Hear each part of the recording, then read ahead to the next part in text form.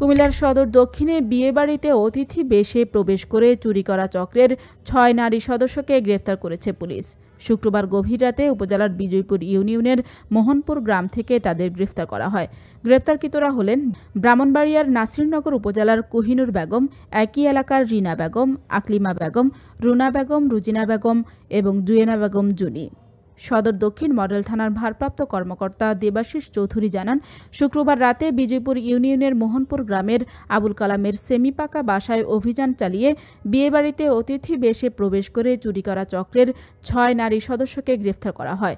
পরে বাসায় তল্লাশি করে ছয়টি স্বর্ণের চেন, একটি স্বর্ণের আংটি, নয়টি বালা জব্দ করা হয়। এগুলো তারা বিভিন্ন সময় চুরি করে বিক্রির প্রস্তুতি নিচ্ছিলেন। কুমিল্লার কাগজ, নিউজ ডেস্ক।